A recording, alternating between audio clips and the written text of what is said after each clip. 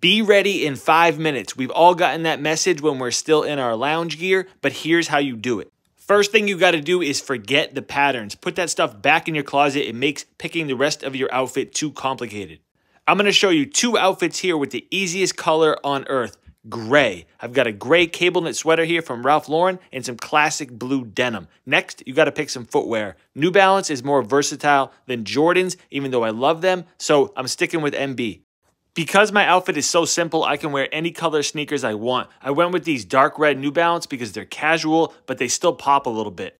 This is a classic menswear outfit you could wear to a nice restaurant, even dress it up with a top coat. But what about the casual look? Same theme, Ralph Lauren and all gray. Ralph Lauren is a step above an athletic company sweatsuit. And because it's all gray, you can wear any color footwear you want. I threw on a purple Patagonia jacket to make it pop a little bit. Five minutes, no problem.